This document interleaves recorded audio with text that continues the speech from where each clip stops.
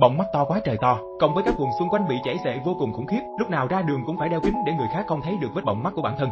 Cứ kéo dài như này, sẽ cảm thấy không thoải mái và không còn là chính mình được nữa. Để ngăn chặn điều này, chúng tôi gửi đến bạn chai xịt đánh tan bọng mắt số 1 tại Mỹ, đã được kiểm chứng và thông qua bởi các bác sĩ hàng đầu về sức khỏe, lên đài truyền hình của Mỹ trên kênh các sản phẩm tốt nhất của năm.